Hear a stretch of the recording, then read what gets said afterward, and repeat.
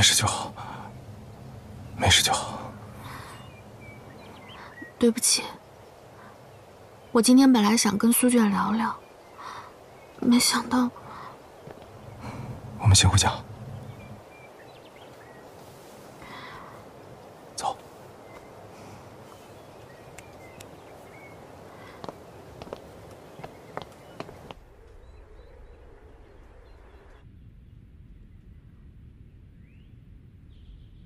今天苏娟带我去墓地是临时决定的，没有别人知道。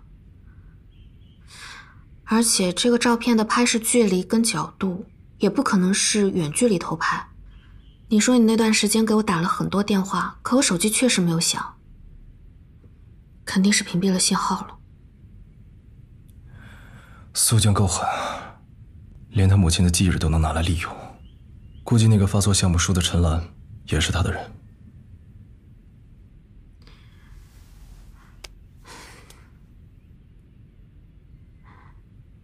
对不起啊，我应该跟你说我的行踪的。我们都没有错。如果再来一次，我还是会做同样的选择。